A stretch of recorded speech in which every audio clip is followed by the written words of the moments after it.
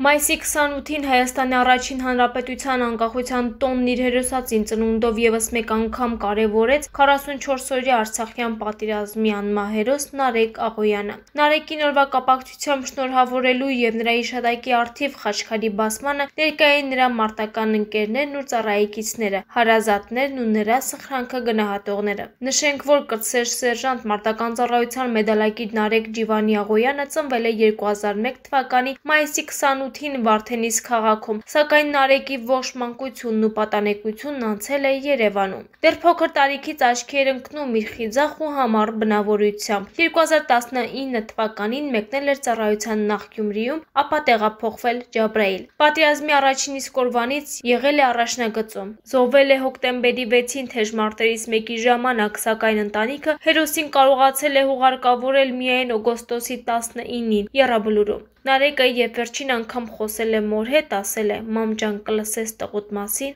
եւ կհպարտանաս»։ Այդպես էլ եղավ, նա դարձավ բոլորիս հպարտությունն ու հերոսը։